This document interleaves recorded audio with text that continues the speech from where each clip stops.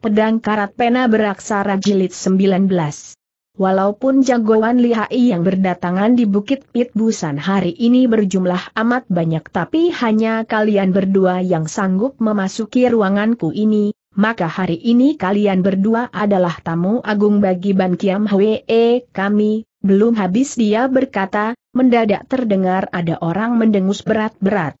Peras muka Ban Kiam Hwe Chu berubah hebat sambil mengangkat kepalanya ia menegur. Masih ada jago lihai siapa lagi? Namun orang tersebut hanya mendengus, kemudian suasana menjadi hening kembali. Ban Kiam Hwe Chu segera menitahkan kepada dua orang pembantunya, coba kalian keluar dan melakukan pemeriksaan, siapakah orang tadi tanda tanya. Dua orang gadis berdandan model keraton IU mengiyakan dengan cepat mereka menyelinap keluar dari dalam ruangan. Tak selang berapa saat kemudian, dua orang dayang itu sudah berjalan masuk kembali, kemudian setelah membungkukan badan dan memberi hormat kepada Ban Kiam Ihwe Echu, mereka berkata, Budak mendapat perintah untuk melakukan pemeriksaan, namun di empat penjuru tak nampak sesosok bayangan manusia pun Ban Kiam Hwe Echu mendengus dingin. HMMM, bukan saja orang itu memiliki ilmu gerakan tubuh yang cepat sekali, bahkan sangat hafal dengan jalan rahasia di sini, sudah barang tentu kalian tak akal berhasil menyusulnya, selesai berkata, kembali dia mengulapkan tangannya. Dua orang dayang tersebut bersama-sama segera mengundurkan diri dari situ. Ban Kiam Hwe Chu segera mengalihkan kembali pandangan matanya ke arah dua orang tamunya, kemudian sambil tersenyum dia bertanya, Xiao Te belum sempat menanyakan nama besar dari kalian berdua, Aku Tiong Hang kata Seng pemuda, Ban Kiam Hwe Chu tertegun, lalu dengan membelalakan matanya lebar-lebar dia mengawasi wajah Wei Tiong Hang beberapa kejap lalu manggut-manggut, katanya. Oh, oh, oh rupanya saudara Wi, kalau begitu nona ini adalah nona Lok tanda tanya. Bukan saja dia mengetahui nama Wei Tiong Hang, bahkan mengetahui juga tentang Lok KHI, tapi Su Xiao telah salah dianggap sebagai Lok KHI. Tak ampun lagi, paras muka Su Xiao berubah menjadi sedingin es, serunya ketus, HMMM, aku mah bukan adik misannya, aku bercama Su Xiao. Oh, oh, oh, Nona Su datang dari Lam Hei. Betul, aku memang datang dan Lam Hei mau apa kau Ban Kiam Hui Ecu tertawa hambar. Dewasa ini kalian berdua merupakan tamu agungku, untuk sementara lebih baik kita tak usah membicarakan masalah budi dendam leluhur kita dulu, setelah berhenti sejenak sambungnya lebih jauh. Kalian berdua datang ke Bukit Pit Busan ini sudah pasti dikarenakan Lu Bun si bukan? Xiao Te pun datang kemari khusus disebabkan masalah tersebut. Wei Tiong Hang segera dapat merasakan betapa supel dan hangatnya sikap Ban Kiam Hwe Chu ini terhadap orang lain, tanpa terasa dia pun sudah menanamkan beberapa bagian kesan baik terhadap orang ini. Belum sempat ia menyelesaikan kata-katanya pemuda itu sudah menggeleng dan menukas, aku bukan datang dikarenakan Lu Bunsi. Aku juga bukan, sambung Su. Hektometer sekalipun Lu Bunsi adalah benda yang berasal dari keluargaku tapi aku sama sekali tak tertarik akan benda itu. Tampaknya Ban Kiam Hwe Chu benar-benar merasa di luar dugaan atas jawaban tersebut sambil memandang wajah kedua orang itu, tanyanya kemudian dengan keheranan, lantas dikarenakan persoalan apa kalian berdua datang kemari? Paras muka So Hui segera berubah menjadi merah padam, rupanya dia merasa kurang leluasa untuk memberikan jawabannya. Dengan cepat Wei Tiong Hang menjura, kemudian menjawab. Aku memang ada satu persoalan yang ingin mohon bantuan Hwe Chu, harap sudi memberi muka untukku. Asal Xiao Te sanggup untuk melakukannya, sudah pasti tak akan kutampi keinginanmu. Selama ini, Ban Kiam Hwe selalu dianggap sebagai suatu perkumpulan rahasia, sungguh tak disangka bahwa gerak-geriknya memancarkan kegagahan yang sangat mengagumkan.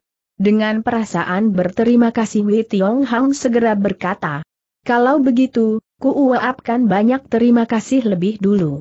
Saudara Wei, sebenarnya kau ada persoalan apa silahkan saja diutarakan keluar, kata Ban Kiam Ho Chu sambil menatap tajam wajah Wei Tiong Hong. Wei Tiong Hong termenung sejenak kemudian sahutnya. Saudara angkatku, Ketua Tipit Pang, Ting Cikeng telah ditangkap oleh perkumpulan kalian sejak bulan berselang, waktu itu. Aku pernah menggunakan lencana Siu Lo Cileng untuk meminta Chen Chong Kuan membebaskannya. Suuguh tak disangka Chen Chong Kuan mengatakan, dia perlu minta persetujuan dari Hua Chu lebih dulu sebelum membebaskannya, meski keesokan harinya dilepaskan juga, namun yang muncul adalah seseorang yang menyaru sebagai Toa Koku, bahkan dia berhasil merampas Lubunsi dari tanganku.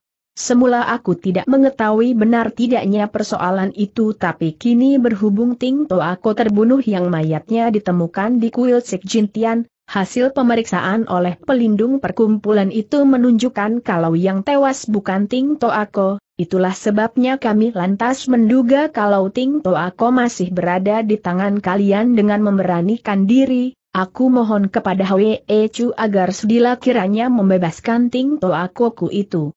Berkelat sinar tajam dari balik mata Ban Kiam Hwasio, ditatapnya wajah Wi Tiong Hang lekat-lekat, menanti dia telah menyelesaikan perkataannya, ia baru berkata.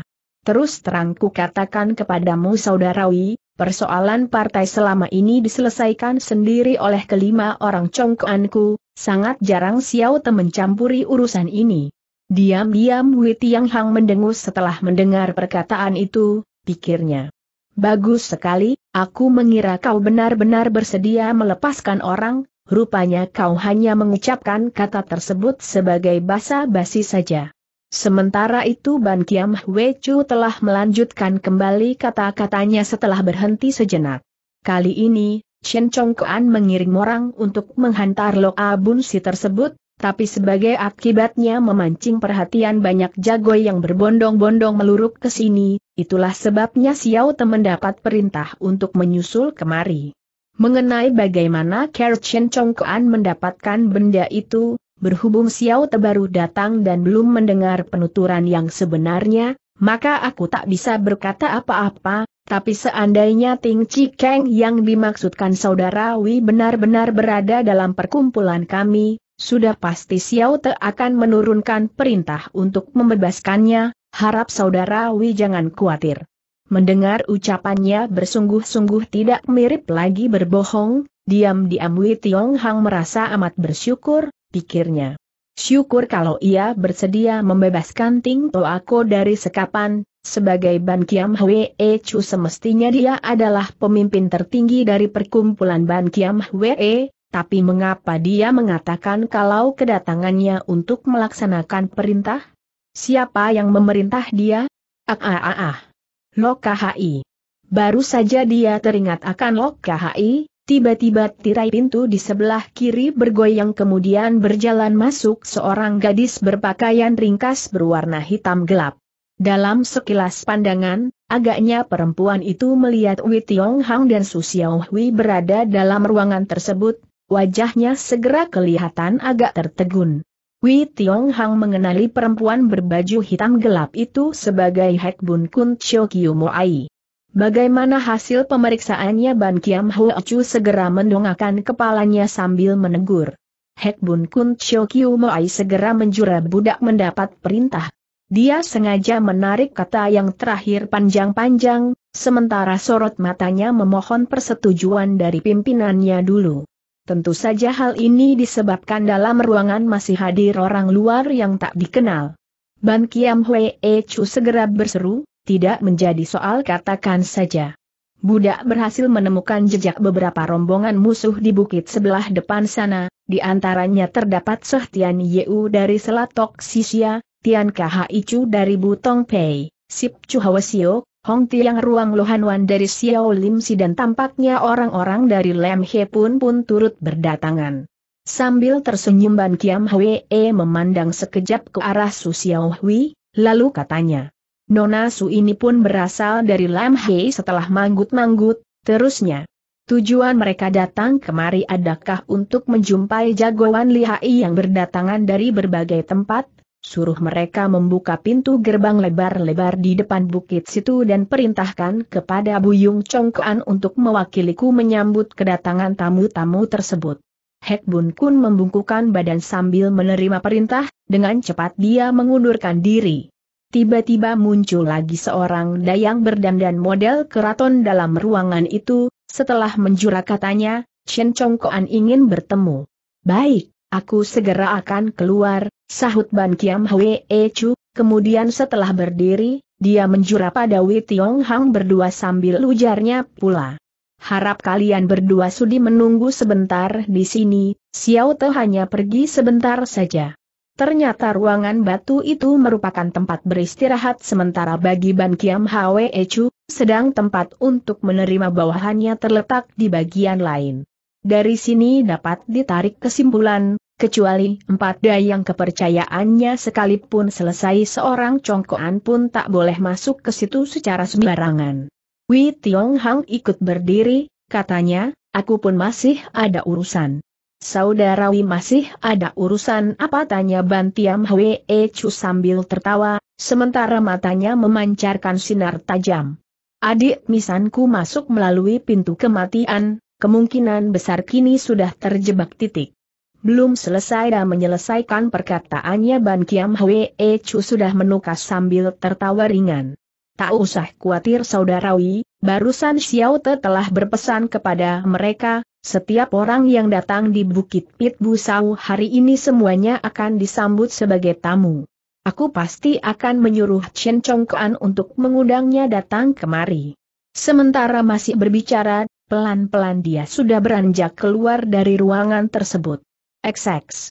Dalam pada itu, Loka HI yang masuk ke dalam lorong dalam keadaan mendongkol segera merasakan gua tersebut gelap gulita setelah memasuki separuh bagian di antaranya sorot cahaya yang masuk melalui arah belakang kian ke bawah kian bertambah lirih, apalagi setelah tiba di bawah sana, pada hakikatnya makin ia masuk semakin gelap. Bagaimanapun jua dia adalah seorang gadis muda, tak urung timbul juga perasaan ngerinya setelah berada dalam kegelapan, dia mulai menyesali tindakannya yang kelewat gegabah. Coba kalau tidak mendongkol terhadap pengkohong, bukankah dia pun tak usah masuk kemari seorang diri? Tidak aku tak sudi ditemani olehnya hatinya segera berpekik, sudah jelas ia telah terpikat oleh perempuan siluman dari Lem Hei kalau tidak bukankah dia sudah menyusul kemari? Sebagai seorang gadis yang bersifat keras kepaya, kendati pun dalam hati kecilnya merasa ketakutan namun rasa mendongkol dan gemasnya terhadap Wi Tiong Hang memaksanya meneruskan perjalanan menembusi lorong gua yang gelap itu. Untung saja lorong rahasia tersebut mempunyai ukuran lebar yang bisa ditempuh beberapa orang, permukaan tanahnya pun sangat datar, kendati pun banyak tikungan, bukan berarti sukar untuk dilewati. Baru berjalan beberapa saat, mendadak ia menemukan dari belakang tubuhnya muncul sesosok bayangan manusia yang menempuh perjalanan bersama searah dengannya. Loka Hai segera mengira yang datang adalah Wei Tiong Hong, betul hatinya masih mendongkol, tapi diam-diam ia pun merasa girang hingga tanpa terasa menghentikan langkahnya menanti bayangan manusia yang berada di belakang itu sudah makin mendekat, ia baru menegur sambil tertawa dingin, mau apa kau datang kemari? Tampaknya orang itu merasa amat terkejut serentak dia melompat mundur sambil membentak, siapakah kau? Ah ah ah rupanya dia bukan engkohong.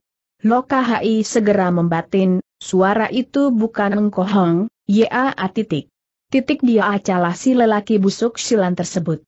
Mendengkol dan gemas yang bercampur aduk membuat Lok KHI bertambah geram, dia segera mendengarkan arah orang tersebut kemudian dengan suatu gerakan cepat menerjang ke arahnya dan tangannya langsung diayunkan ke depan melepaskan sebuah tamparan. Kepandaian silat yang dimilikinya kini memperoleh warisan langsung dari Tian Saten Elo, kecepatan maupun kejituan tamparannya kali ini benar-benar luar biasa.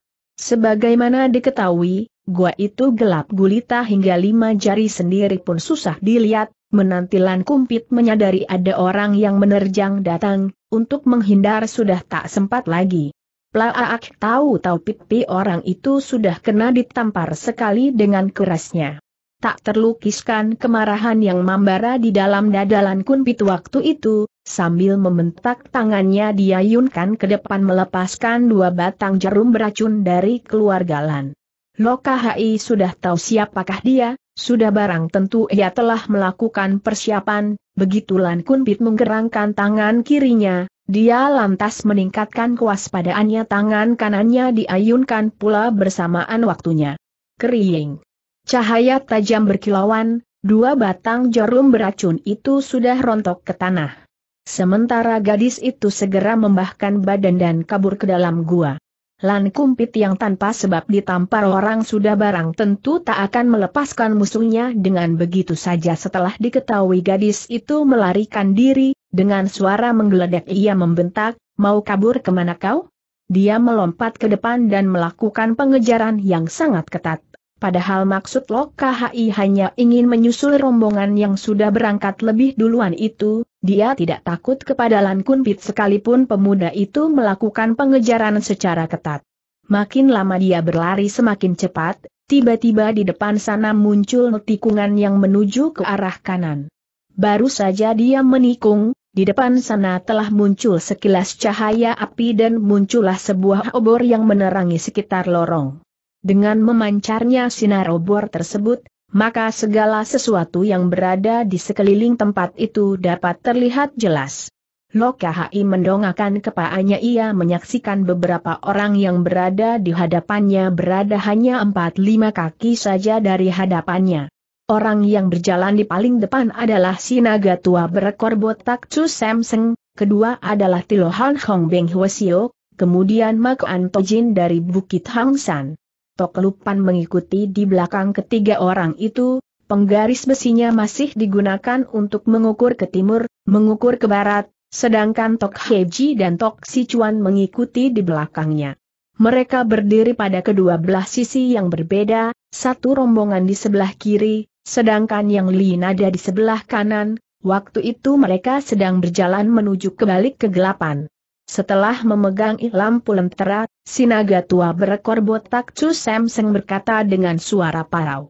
Apabila daya ingat Xiao tak salah, tempat ini merupakan tikungan yang ke-24, 720 langkah kemudian pasti ada kode rahasianya. Kini kita sudah berada di dalam lambung pintu kematian, lupan beracun menimbrung posisi kita sekarang teramat berbahaya, setiap saat kemungkinan besar akan terjebak atau kena perangkap kalau toh loko memang meninggalkan tanda rahasia di sini, cepatlah diperiksa, daripada kita terlanjur terancam oleh bahaya maut, naga tua berekor botak tertawa terbabak-bahak. Haah, haah, haah, dari kedua puluh empat buah tikungan yang kita lewati tadi, di setiap tikungan pasti ditemukan tanda rahasia Xiao Te, masa aku bisa salah? Dia mengangkat tinggi-tinggi obernya untuk menerangi dinding lorong, kemudian sambil menuding ke depan serunya. Saudara sekalian, coba kalian perhatikan, kode rahasiaku berada di sini. Tempo hari Xiao Te dibebaskan setelah orang Chen itu menanyai asal-usulku, jalanan Ik dilalui juga jalanan ini, Seingatku lorong ini langsung menghubungkan ruang batu tempat tinggal orang Sitchin tersebut. Lupan beracun memeriksa dan mengukur sebentar kedua sisi lorong tersebut kemudian katanya. Terdapat persimpangan di antara Tu dan Siu, kalau begitu yang sebelah kiri adalah pintu Siu Bun, sedangkan orang Sitchin berdiam di pintu Tu Bun. Tepat sekali, seru naga tua berekor botak dengan terkejut bercampur gembira, kita memang harus menuju ke arah kiri jalanan tersebut tidak terdapat banyak tikungan, semuanya berjumlah 221 langkah, jangan padamkan obor ini. Tampaknya obor yang dibawa beberapa orang itu sudah tidak banyak lagi jumlahnya, maka mereka harus mempergunakannya secara berhemat. Pada saat itulah Lan Kunpit telah menyusul ke situ, wajahnya yang ceking penuh dilapisi hawa pembunuhan yang tebal, ditatapnya Lokahai tajam-tajam kemudian setelah mendengus dingin serunya. Jadi kau si budak jelek yang telah menyergap Kong Cumu tadi? Sebenarnya Lokahai sudah mangkel sekali, makian si budak jelek itu bagi kedengarannya ibarat api yang bertemu minyak amarahnya kontan saja semakin berkobar. Dia mendengus lalu serunya. Masih terhitung sungkan Nona Uma menamparmu sekali HMMM, apakah kau tidak terima? Lan Kumpit adalah seorang pemuda tampan yang selamanya memandang tinggi diri sendiri, tapi sekarang, rahasia ditamparnya dia oleh seorang gadis jelek diungkapkan di hadapan orang banyak, sudah barang tentu kejadian tersebut membuat hatinya benar-benar tak tertahankan. Dengan wajah hijau membesi, dia segera membentak gusar, budak jelek hari ini Kong Cumu tak akan mengampuni jiwamu. Dengan begitu saja, Tangan kannya segera diulapkan ke depan, di antara kebasan kipasnya yang mengembang tampak sekilas cahaya perak meluncur ke depan dan menyongsong tubuh Lok KHI. HMM, memang tepat sekali, dengus Lok KHI dingin, hari ini kau memang tak boleh diampuni. Kering titik cahaya pedang berkilauan tajam, dalam genggamannya telah bertambah dengan sebilah pedang lemas yang tajam sekali, di antara getaran senjatanya itu tampak sekuntum bunga pedang meluncur ke depan dan memukul kebalik bayangan kipas lan kumpit. Teriing, terdengar suara dentingan nyaring bergema memecahkan keheningan, kedua orang itu sama-sama mundur setengah langkah dari posisi semula. Mendadak cahaya api obor di tangan naga tua berekor botak Chu Sam Seng menjadi padam, Seketika itu jago lorong rahasia tersebut berubah menjadi gelap gulita sehingga untuk melihat kelima jari tangan sendiri pun sukar. Terdengar naga tua berekor botak berteriak keras. Sudah cukup, jangan berkelahi lagi sekarang waktu lebih berharga daripada segala-galanya, harap kalian segera mengikuti Xiao Te. Menyusul ucapan mana, terdengar suara langkah kaki manusia yang bergerak menuju ke depan. Lorong rahasia tersebut amat sepi bagaikan dalam kuburan, walaupun suara langkah naga tua berekor botak sangat enteng, kedengaran juga suara langkah kakinya. Maka Ti Ohan Hong Beng Hwasio, Mak Antojin dari Hang San dan Lupan beracun bertiga ikut gerak maju lagi ke depan sambil mendengus Lok KHI segera berseru. Bajingan cilik silan, untuk sementara waktu Nona akan mengampuni dulu jiwa anjingmu itu. Selesai berkata, Buruda menyusul ke depan. Lan Kumpit adalah seorang manusia yang licik dan punya banyak tipu muslihat, pada mulanya dia mengikuti Lokahai seperti juga, dia sendiri, masuk ke situ seorang diri untuk menyerempet bahaya, tapi setelah dilihatnya di sana masih ada enam tujuh orang yang membentuk satu rombongan lagi pula ada yang menjadi petunjuk jalan, sudah barang tentu dia tak akan menyia-nyiakan kesempatan tersebut dengan begitu saja. Tanpa banyak berbicara lagi dia mengintil secara diam-diam di belakang orang itu dan meneruskan perjalanannya ke depan. Kini di balik lorong rahasia yang gelap gulita, hanya terdengar suara langkah kaki manusia yang bergerak menuju ke depan, siapa pun tidak ada yang bersuara. Tapi dalam hati masing-masing merasa keheranan, kini mereka sudah berada jauh di dalam sarang musuh, padahal tempat ini merupakan sarang dari para jago pedang berpita hitam dari Ban Kiam Hwee, herannya mengapa sampai kini belum ada orang yang menghadang mereka? Beberapa puluh langkah kembali sudah dilewati. Mendadak lupan beracun membentak keras. I harap kalian semua berhenti. Waktu itu, semua orang sedang melakukan perjalanan dalam kegelapan, begitu mendengar suara bentakannya yang menggema secara tiba-tiba, betul juga, mereka semua segera berhenti. Kemudian terdengar Mak Antojin berkata dengan suara menyeramkan, Lu Sicu, apakah kau telah menemukan sesuatu yang luar biasa? Sun Sute, cepat memasang api perintah lupan beracun. Dari dalam sakunya Tok Si Chuan mengeluarkan tabung api seribu li dan menyulutnya, bentuk dari tabung apinya ini kelihatan istimewa meski bentuknya kecil mungil, namun sinar apinya bisa menerangi wilayah seluas beberapa kaki dengan terang benderang. Naga tua berekor botak segera tertawa seram serunya, heeh, heeh titik heeh, rupanya kau juga membawa tabung api. Tentu saja membawa jawab Tok Si Chuan, tadi sepanjang jalan kau telah berebut memasang obor, maka aku pun tak usah repot-repot membuang tenaga, apalagi kita sedang memasuki sarang dari Ban Kiam Huse, musuh berada dalam kegelapan kita berada di tempat terang, kalau bisa tak usah menyulut api memang paling baik jangan. Sebagai Tok Si Chuan, pencuri beracun, tentu saja dalam sakunya selalu tersedia tabung api seribu li. Namun kalau dipikirkan dengan seksama ucapannya memang betul. Kini mereka sedang memasuki sarang harimau, bila sepanjang jalan mereka harus berjalan sambil menyulut lampu bukankah kedatangan mereka sangat mudah menarik perhatian orang lain? Dengan dibantu sinar api yang memancar keluar dari tabung api tersebut, semua orang dapat melihat kalau mereka kini berada di dalam sebuah lorong yang lebar, lorong tersebut tiba-tiba melebar ke samping dan di hadapan mereka terbentang sebidang tanah datar seluas 4-5 kaki. Dengan cepat Lupan beracun mengambil tabung api itu dari tangan Tok Si Chuan, kemudian tanpa mengucapkan sepatah kata pun maju ke depan sembari menghitung. Kalau tadi, naga tua berekor botak Chu Samseng, Pilohan Hong Beng Ho Shio dan Mako Antojin bertiga yang memimpin perjalanan, maka sekarang mereka telah berhenti di ujung jalan dari tanah datar tersebut.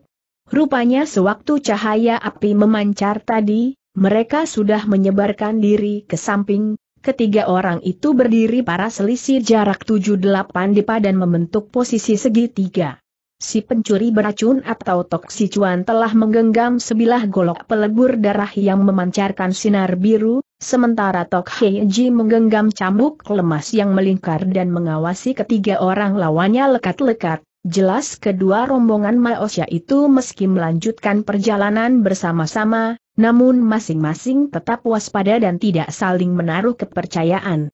Paras muka Makoan Rojain berubah tak menentu, Ketika dilihatnya lupan beracun masih berjalan sambil menghitung dengan suara menyeramkan dia berseru. Kini, kita sudah berada di dalam sarang harimau situasi yang kita hadapi kini adalah hidup dan mati bersama-sama ada rejeki dibagi bersama ada bencana yang dihadapi berbareng, bila Lusicu berhasil menemukan sesuatu hal yang tak beres, sepantasnya kalau kau utarakan keluar secara belak-belakan, Paras muka Lupan beracun berubah menjadi amat serius, dia menarik napas panjang-panjang, lalu sambil mendongakkan kepalanya menjawab.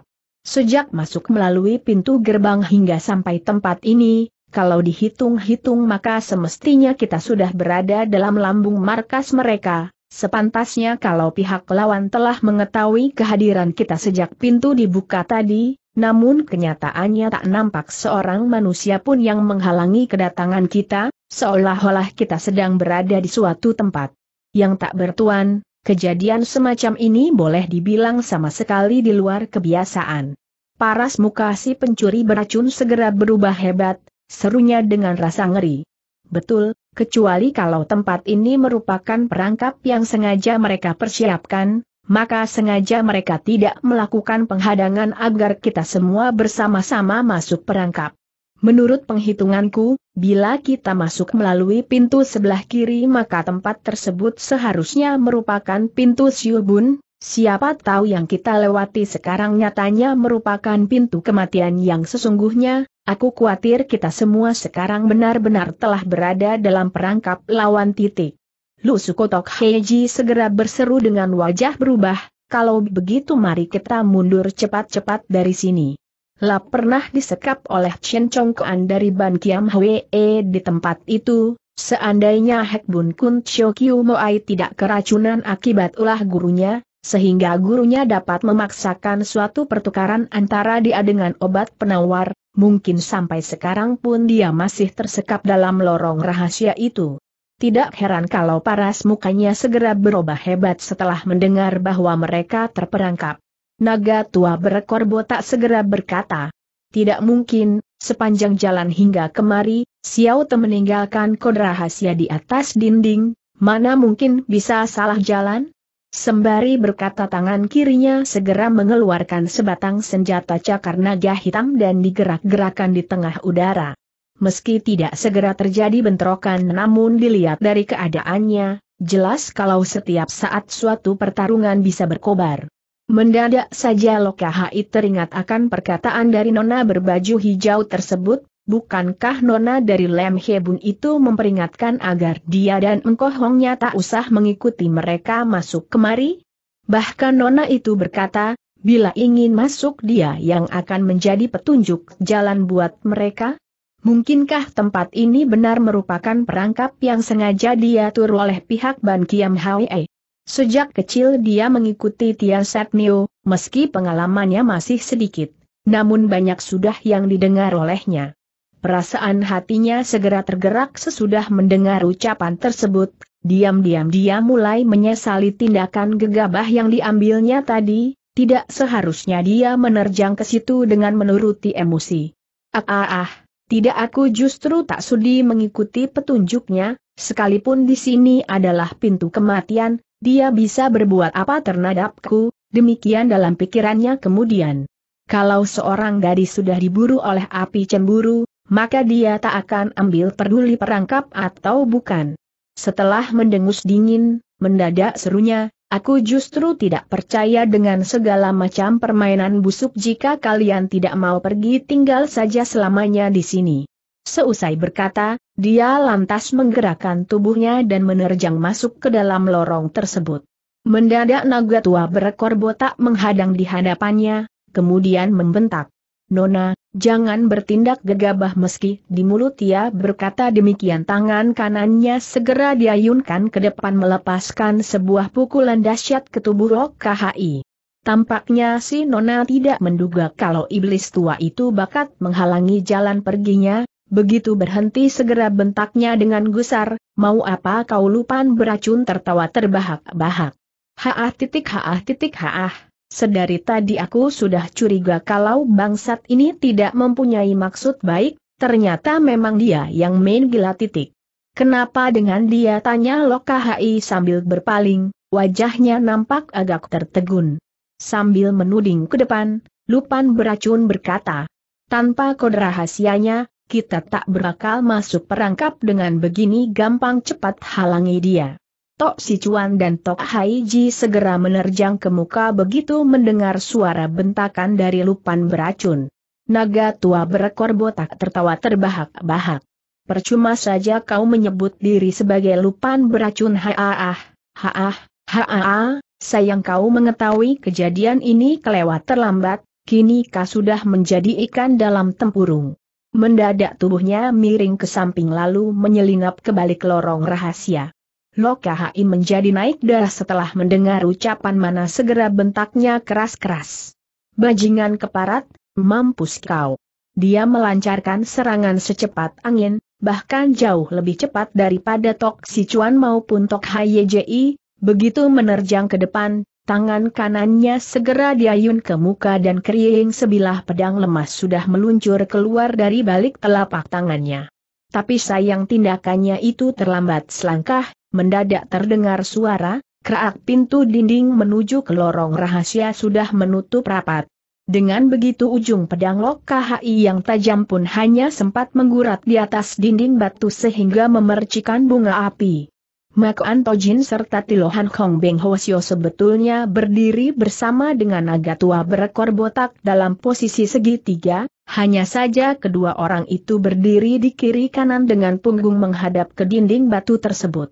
Kini si naga tua berekor botak telah menerobos masuk ke dalam lorong pintu batu pun telah menutup kembali, dengan demikian kedua orang itu segera tersekap di luar pintu.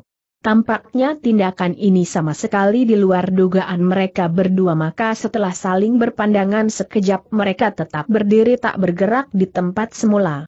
Di tempat lain, Lansan Ginsau, kipas perak berbaju biru, Lan Kumpit juga tak mengetahui jelas akan asal-usul beberapa orang itu, walaupun dah menyaksikan pintu batu menuju ke lorong rahasia tersebut menutup kembali, tapi berhubung di hadapannya masih hadir banyak orang, maka dia pun cuma berdiri tenang di tempat semula sambil menggoyangkan kipasnya. Di lain pihak Klok KHI mendepak-depakan kakinya berulang kali ke tanah, kemudian serunya. Bajingan tua ini betul-betul licik sekali, sayang dia berhasil melarikan diri. Aku sama sekali lupa kalau dia bisa bertindak demikian keluh lupan beracun, padahal sejak dia berdiri menghadang di depan pintu lorong, aku sudah seharusnya dapat berpikir sampai ke situ. Koma. Kita kejar, seru Tok Heiji, tapi lupan beracun segera menggeleng. Dalam pintu kematian penuh dengan alat jebakan yang sangat berbahaya, tak mungkin kita bisa mengejarnya lagi. Berbicara sampai di situ, mendadak ia mendongakkan kepalanya dan tertawa terbahak-bahak. Mako Antojin adalah seorang yang berwatak dingin tapi licik, sambil mengelus jenggot panjangnya dengan senyum tak senyum dia bertanya. Apakah Lu Sicu telah berhasil menemukan sebuah akal bagus? Alat rahasia yang disiapkan di tempat ini berbahaya sekali perubahannya pun sama sekali di luar dugaan, Orang yang tidak memahami alat rahasia sesungguhnya jauh lebih menguntungkan daripada mereka yang tahu. Aku benar-benar sudah jatuh dipecundangi orang. Lantas mengapa Lusicu tertawa terbahak-bahak tanya Mako Antojin cepat. Sebelum memasuki ruangan gua ini, aku telah menyebarkan segenggam bubuk beracun di muka pintu, jangan harap bajingan itu bisa lolos selama satu jam mendatang titik. Tilohan Hong Beng Hosio segera melotot besar, kemudian bentaknya keras-keras. Jadi kau pun telah meracuni kami semua? Benar sahut lupan beracun sambil tersenyum, bubuk beracun ini biasanya melayang di udara dan tak bisa dilihat dengan mata, telanjang, bila telah terhisap ke dalam tubuh kalian satu jam kemudian racun itu akan mulai bekerja dan tak bisa tertolong lagi, itulah sebabnya aku minta kalian berdua sudi membawa jalan. Lokahai yang mendengar perkataannya itu segera manggut-manggut, pikirnya kemudian. Rupanya Lupan beracun telah mengetahui kalau Mako Antojin dari Bukit Hang San serta Tilohan merupakan komplotan dari pihak Ban Kiam Hwe. Sementara itu Mako Antojin telah tertawa seram, serunya. Lu Chu, mengapa kau mencurigai pintu Lupan beracun tertawa dingin? Memangnya aku salah berbicara dia balik bertanya mencorong sinar tajam dari balik mata, Tilohan, segera bentaknya penuh kegusaran mana obat penawarnya? Obat penawarnya berada di dalam sakuku. Cepat Makoa atau Jin menggoyangkan tangannya berulang kali, serunya kemudian sambil tertawa seram. Taisu tak usah terburu nafsu, asal Lu Sicu sudah mengucapkan perkataan tersebut, hal ini sudah lebih dari cukup, buat apa kita mesti membunuh ayam mengambil telur? Berbicara sampai di situ, ujung bajunya segera dikebaskan ke depan, tahu-tahu sebuah pukulan dilepaskan ke arah tubuh lupan beracun dari jarak dekat. Tilohan Hong Beng Hosio segera tertawa terbahak-banak. Haahaah, haaah ucapan yang memang benar titik sebuah babatan maut segera dilontarkan ke depan. Tenaga dalam yang dimiliki kedua orang itu amat sempurna serangan yang dilancarkan secara beruntun ini sungguh luar biasa sekali. Tampak dua gulung angin pukulan yang maha dahsyat dengan membawa suara desingan tajam bagaikan amukan gelombang dahsyat di tengah samudera langsung menghantam ke tubuh semua orang. Tentu saja Lupan beracun tak berani menyambut serangan tersebut dengan kekerasan dengan cepat dia menarik hawa murninya lalu mundur ke belakang dengan cepat. Tok Sichuan dan Tok Haiji turut berkelebat lewat dan melompat mundur kedua belah samping. Sebagai seorang gadis yang pintar, sejak Mako Antojin mengatakan hendak membunuh ayam mengambil telur, dia sudah tabu kalau pihak lawan hendak merampas obat penawar racun dan mengajak Tilohan untuk turun tangan bersama-sama. Untuk sesaat dia menjadi ragu-ragu dan tak tahu apakah dirinya turun tangan atau tidak. Di saat dia sedang ragu-ragu dan berpaling ke samping, dengan cepat diketahuinya kalau gelagat tidak beres. Semestinya, untuk merampas obat penawar dari tangan musuh, Meski serangan gencar yang dilancarkan Mako Antojin berhasil dihindari lupan beracun, tapi dalam keadaan terpengaruh oleh hawa nafsu membunuh, dia pasti akan mendesak maju lebih jauh dan tidak memberi kesempatan pada lawannya untuk membalas. Di dalam hal ini, Mako Antojin dan Tilohan sudah pasti masih sanggup untuk melakukannya. Akan tetapi Mako Antojin tidak berbuat demikian, setelah berhasil mendesak mundur lupan beracun, tiba-tiba saja tubuhnya bergerak menuju ke dinding setelah depan. Satu ingatan segera melintas di dalam benak Lok KHI, serunya dengan suara nyaring, hidung kerbau tua, mau apa kau? Berbareng dengan suara bentakan tersebut serentetan cahaya keperak-perakan segera membabat ke muka. Mako Lojin segera menempelkan punggungnya ke atas dinding, kemudian terdengar suara, Kerak dinding batu itu segera terbuka tapi serentetan cahaya pedang dari Lokahai tengah membacok tiba dengan kecepatan luar biasa. Bocah perempuan, mundur kau bentak Mako Antojin dengan suara sedingin es ujung bajunya segera dikebaskan ke muka segulung angin pukulan yang maha dahsyat segera menyambar ke depan. Menggunakan kesempatan tersebut tubuhnya segera melompat masuk ke balik dinding batu itu. Ternyata serangan yang dilancarkan, olehnya ini telah mempergunakan segenap tenaga dalam yang dimilikinya, dibandingkan dengan pukulan yang digunakan untuk memukul mundur Tok Haiji tadi, pada hakikatnya masih lebih dahsyat beberapa kali lipat. Loka Hai sudah menduga, kilau dia melakukan pengejaran sudah pasti Mako Antojin akan bertindak dengan melepaskan pukulan sepenuh tenaga, tapi sebagai seorang manusia yang berkepandaian tinggi, sudah barang tentu dia tak akan memandang sebelah mata pun terhadap Mako Antojin. Sepasang bahunya segera digerakkan berulang kali, dengan menggunakan ilmu langkah Hian Im Kiu Choan Hoat dia menyambut datangnya serangan tersebut, kemudian bagaikan ikan yang bermain di air, dia menerjang ke muka lebih jauh.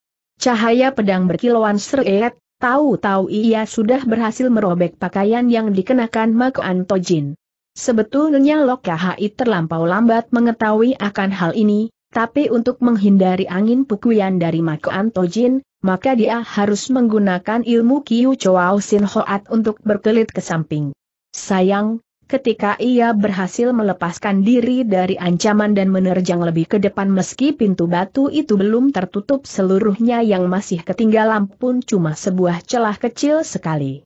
Celah tersebut memang bisa dilewati dengan tubuh seorang manusia, akan tetapi, berhubung pintu sedang menutup maka bila perhitungan kurang berhati-hati, bisa jadi tubuhnya malah akan tergencet oleh pintu rahasia tersebut. Dalam keadaan demikian, terpaksa Loka HI harus menahan diri dan membiarkan pintu itu menutup rapat. Bersamaan dengan menyelinapnya Mako Antojin ke dalam dinding sebelah kanan, Pilohan Hong Beng Hosyo yang berada di sebelah kiri pun segera menempelkan punggungnya di atas dinding, kemudian dengan gerakan tubuh paling cepat menyelinap masuk ke dalam sebaliknya lupan beracun bertiga yang kena. Dipukul mundur oleh pukulan gabungan dari Mako Antojin dan Tilohan Kong Beng Hwasyo, dengan cepat menerjang maju lagi, sayang keadaan sudah terlambat. Dengan gemas Tok Heiji berseru. Titik dua. Ternyata ketiga orang bajingan tua itu benar-benar tidak mempunyai maksud biik.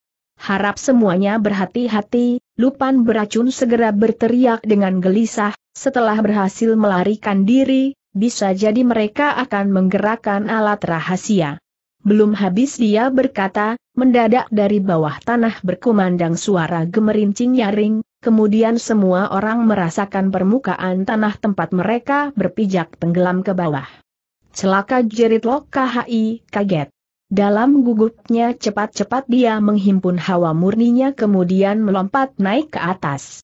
Kali ini gadis tersebut boleh dibilang telah menghimpun segenap tenaga dalam yang dimilikinya, tubuhnya segera melambung ke tengah udara.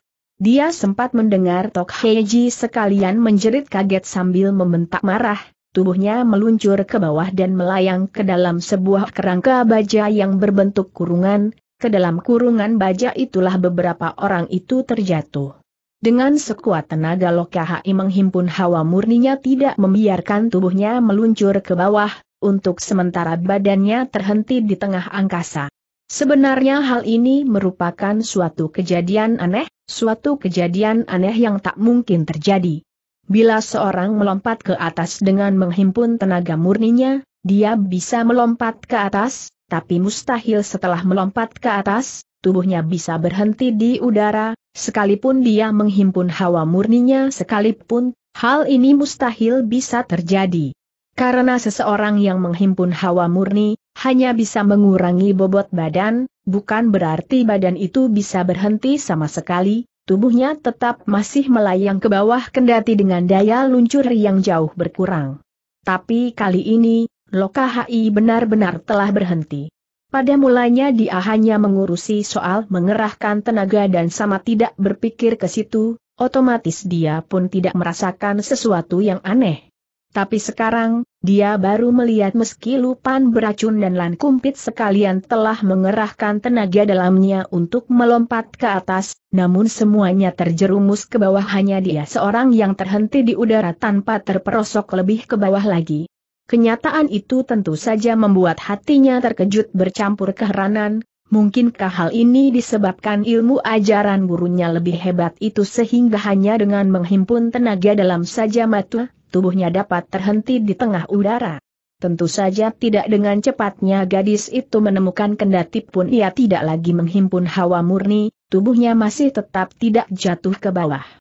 Rupanya ada seutas tali yang sangat lembut telah mengikat di atas punggungnya sehingga tubuhnya tergantung di tengah udara.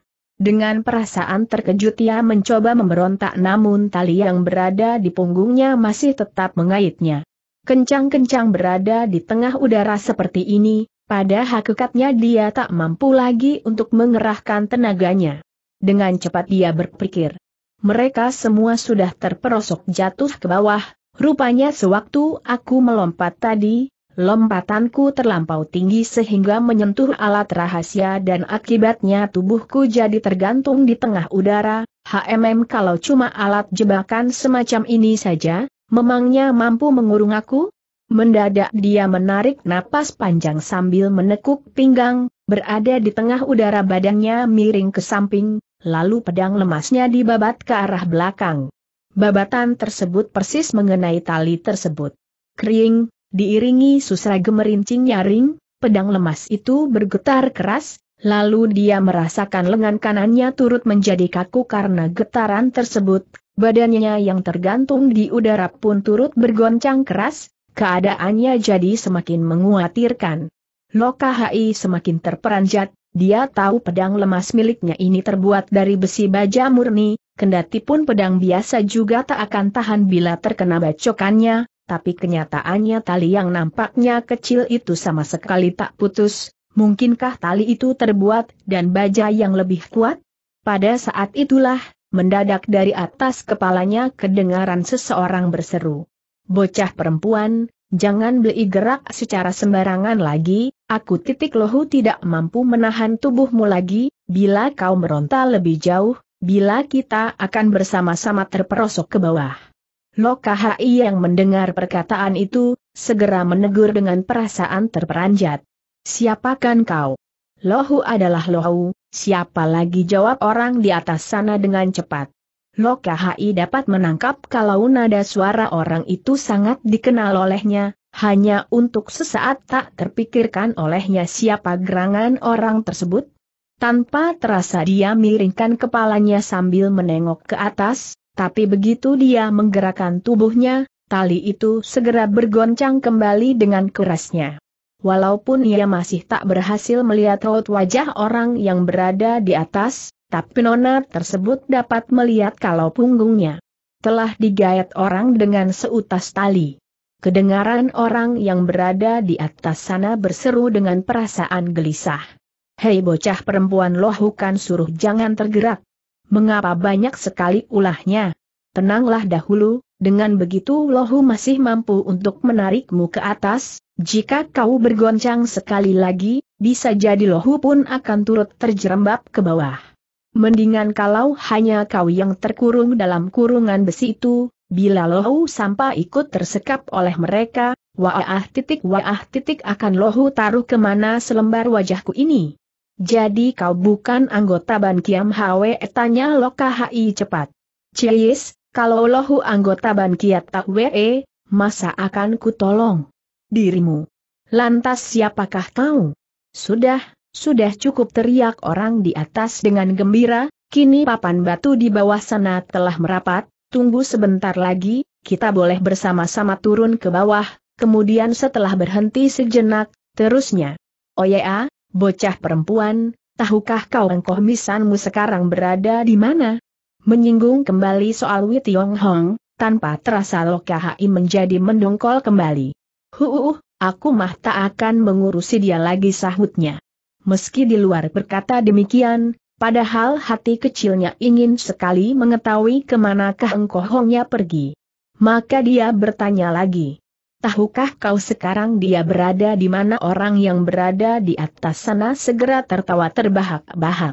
Haa titik tentu saja lo tahu. Nah ku beritahukan kepadamu, kau tak usah khawatir, sekarang bocah tersebut sedang menjadi tamu dari Ban Kia Chu. Berbicara sampai di situ, dia berkata lagi. Cukup, pintu kematian ternyata tak lebih hanya begitu saja. Loka Hai merasakan tubuhnya pelan-pelan ditarik ke atas, seakan-akan ada orang yang sedang menarik tali dari atas situ, dalam waktu singkat ia sudah tiba di atas langit-langit gua dan tinggal dua kaki saja dari permukaan liang perangkap tersebut. Nah, bocah perempuan, sekarang kau boleh turun bisik orang itu lagi. Loka Hai segera menengok ke bawah, Betul juga permukaan tanah sekarang sudah pulih kembali seperti sedia kala, maka dia lantas mengayunkan sepasang lengannya dan melayang turun ke atas permukaan tanah. Setelah itu dia melongok ke atas. Ternyata di atas dinding batu pada langit-langit gua duduklah seseorang di situ dia bukan lain adalah si kakek gemuk pendek yang pernah menyuruh Hengkohongnya membukakan pintu gerbang kuil Sik Jantian dan mengantar kepergiannya itu. Kini ia sedang memegang sebatang pancingan sepanjang tujuh depa, sementara tangannya lagi menggulung seutas tali senar yang kecil, tipis serta berkilat. Rupanya barusan, dia telah mempergunakan senar pancingan itu untuk menggae tubuhnya dan menggantungkan di udara seperti seekor ikan besar. Diam-diam Lok KHI merasa terperanjat, sudah jelas kakek itu menggunakan ilmu Pitou Kang, ilmu cecak merayap, untuk menempelkan badannya di atas dinding, tapi kenyataannya ia masih mampu menariknya ke atas, dari sini bisa diketahui kalau kepandaian silat yang dimiliki orang itu benar-benar luar biasa sekali. Sambil menyimpan kembali senar pancingannya, kakek gemuk pendek itu tertawa terkekeh-kekeh sambil berkata, Baru saja Lohu datang dari Ban Kiam Hwe E Chusana, hei bocah perempuan, Tahukah kau Piau Komu sedang bertamu di tempat Ban Kiam Hwe Chu dengan siapa Loka Hai segera berpikir. HMMM, sudah pasti dengan siluman perempuan dari Lem He itu. Teringat akan siluman perempuan itu, tanpa terasa dia membuang maka sambil mendengus. Huh, dari mana aku bisa tahu? Dalam pada itu, si kakek gemuk cebol itu sudah melompat turun ke tanah, Sepasang biji matanya melototi Loka Hai beberapa waktu, mendadak seperti menyadari akan sesuatu, dia segera tertawa terbahak-bahak. Haa titik haa titik haa titik benar, benar, rupanya Lohu telah salah berbicara, tak heran kalau kasih bocah perempuan jadi ngambek. Huh, siapa sih yang lagi ngambek? Sementara itu si kakek gemuk pendek tersebut sudah selesai menyimpan tali senarnya, kini dia sedang melipat-lipat pancingannya yang tujuh dipa panjangnya itu kemudian disimpan ke dalam sakunya. Setelah itu, sambil membetulkan pakaiannya dia berkata lagi sambil tertawa. Sudahlah bocah perempuan, mari lohu yang menemani kau, oya. Titik mutiara ya Kong Chu ini berhasil Lohu dapatkan dari ruangan tempat tinggal Ban Kiam Hwe E Chu, ambillah sebagai penerangan jalan. Sambil berkata, dia membuka telapak tangannya dan menyodorkan mutiara tersebut ke depan si Nona. Kini Loka Hai baru teringat, tak heran kalau dalam goa yang gelap bisa kelihatan cahaya terang, rupanya kakek itu sedang menggenggam sebutir mutiara ya Kong Chu.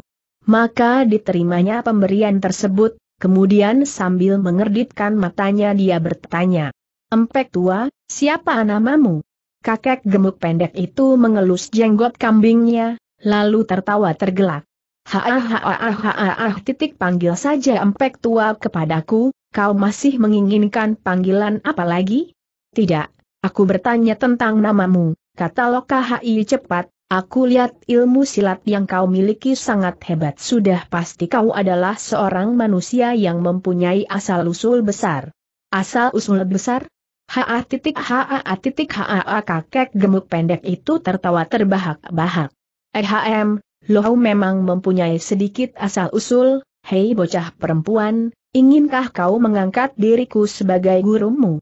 Huh, ilmu silat yang dimiliki guruku pun amat tinggi, Jengek Lok KHI sambil mencibirkan bibirnya.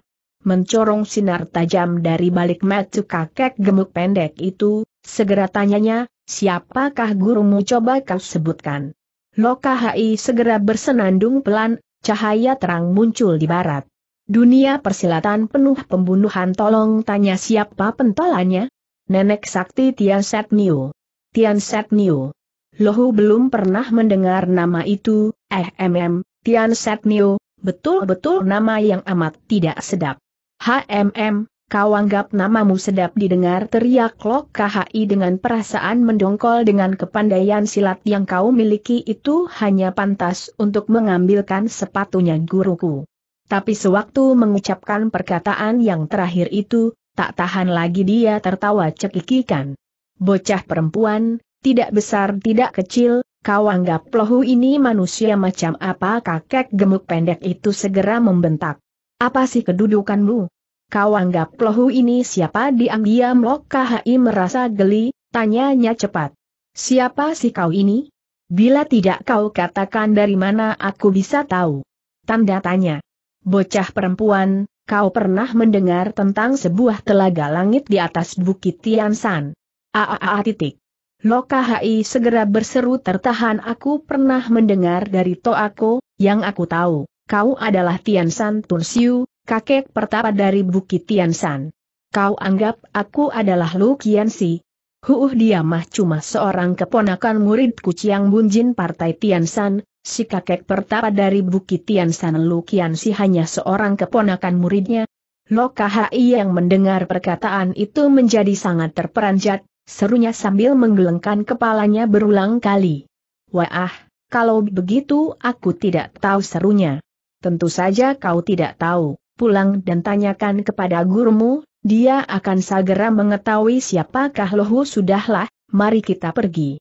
Sekarang, di depan situ akan diselenggarakan suatu pertemuan besar, kalau sampai terlambat kita bisa ketinggalan kereta.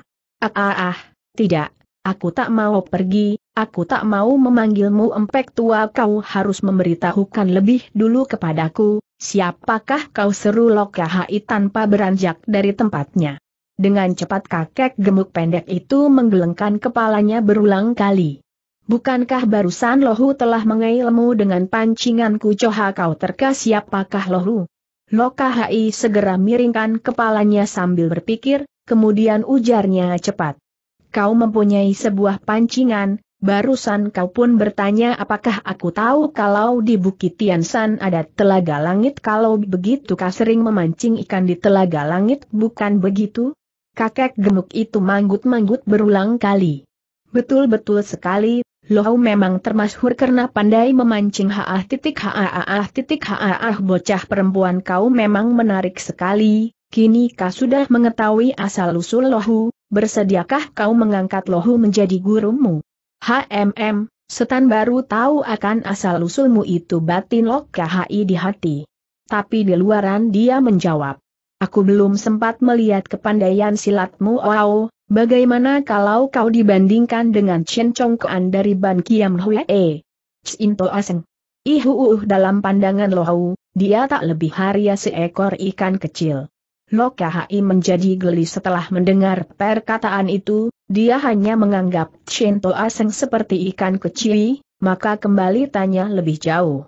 Lantas bagaimana kalau dibandingkan dengan congkoan dari jago pedang pita hijau Pokyam Suseng, sastrawan pemeluk pedang? Tanda petik. Dengan metu kepala sendiri dia pernah menyaksikan kepandaian silat yang dimiliki Pokyam Suseng Buyung Siu, bahkan kepandaiannya sama sekali tidak berada di bawah kamsukonya, dia ingin tahu bagaimanakah jawaban orang si kakek gemuk itu masih tetap menjawab dengan nada sinis. Ah ah ah, kalau cuma kawanan angkatan muda itu mah, dengan pancingan lohu ini, aku sanggup melemparkan mereka ke tempat yang sangat jauh sekali. Aku tidak percaya jawabnya. Tidak percaya kakek gemuk itu menjadi marah, ayo ikut lohu, akan lohu buktikan di hadapan mata, katanya dengan sombong. Diam-diam Lok KHI merasa geli dengan melihat sifat ingin menang sendiri dari kakek tersebut meski usianya sudah lanjut, baru dibakar hatinya, ia sudah mendongkol hingga wajahnya merah padam, segera dirasakan olehnya bahwa kakek ini menarik hati. Maka ujarnya lagi sambil tertawa. Asal kau bisa memancing mereka dan melemparkannya jauh-jauh, tentu saja aku akan percaya.